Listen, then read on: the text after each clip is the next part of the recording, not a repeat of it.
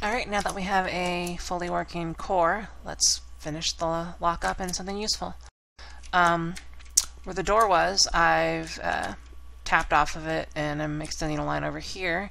I have built a panel of buttons with buttons from a Super Nintendo controller. I'm missing a few because I don't have enough buttons here. I could extend it a little further out, but it doesn't matter for this demonstration.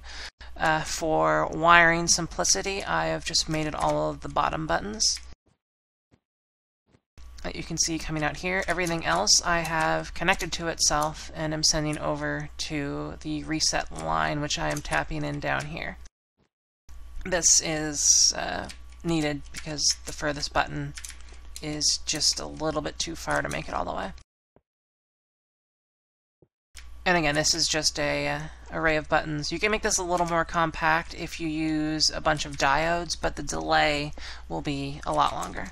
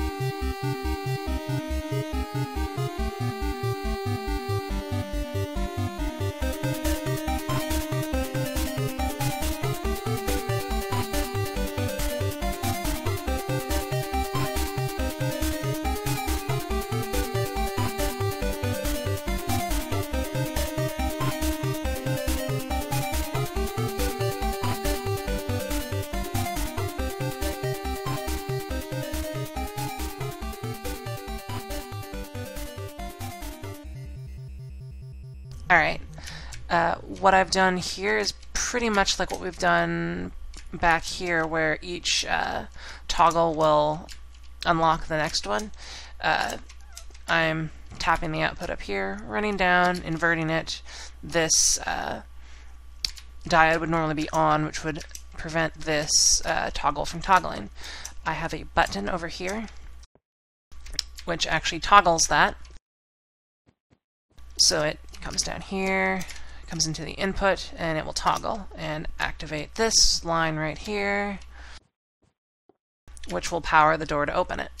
I have a plate uh, here, which once you walk through will work to reset the line, and if you ever get trapped inside, will always open the door because it's right in front of it. Uh, it comes down here. I use another diode to throw through to this other side here, and then it taps into the reset line for everything else.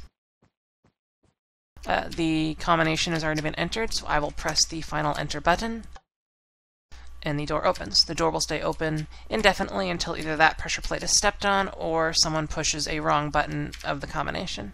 or actually any button now that it's been entered. Once I walk through, the whole thing resets and the door closes. I can't get in by just pushing the button.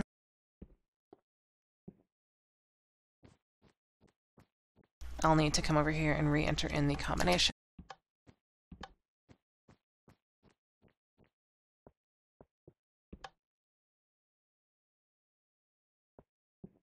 Yeah, you can push the enter button all you want once it's open. But pushing a, wait, that is, well, pushing any button that would cause a reset will close the door.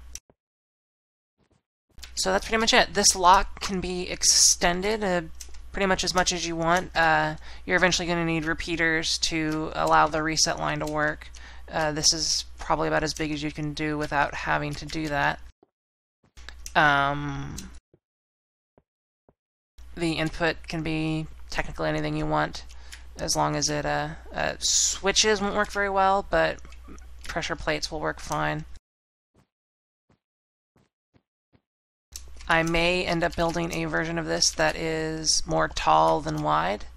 Uh, it'll be quite a different build uh, probably using a different style of toggle. But we'll see